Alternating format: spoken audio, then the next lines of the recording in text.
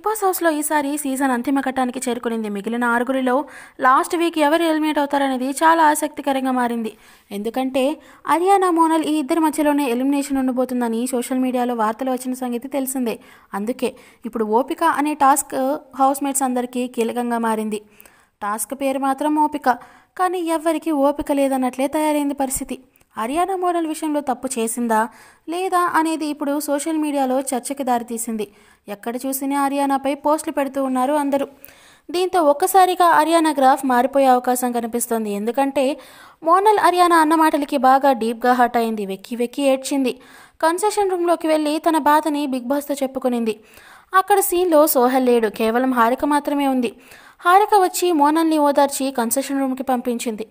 ఇక్కడ అరియానా మోనల్ ఏడుస్తుంటే అసలు పట్టించుకోలేదు. అందుకే అరియానాపై ఇప్పుడు ట్రోల్ స్టార్ట్ అయ్యాయి.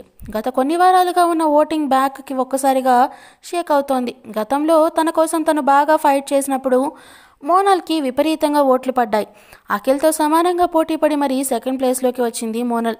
ఇప్పుడు సేమ్ టు సేమ్ మోనల్కి ఇలాగే రిపీట్ అయితే మాత్రం ఖచ్చితంగా హర్యానాకి ఎలిమినేషన్ గండం అనేది ఉంటుందంటూ బిగ్ బాస్ లవర్స్ అభిప్రాయపడుతున్నారు. ఈ వీడియో మీకు నచ్చినట్లయితే లైక్ చేయండి షేర్ చేయండి కామెంట్ చేయండి మరిన్ని అప్డేట్స్ కోసం మన ఛానల్ని సబ్స్క్రైబ్ చేయండి నోటిఫికేషన్ కోసం పక్కనే ఉన్న గంట సింబల్పై క్లిక్ చేయండి.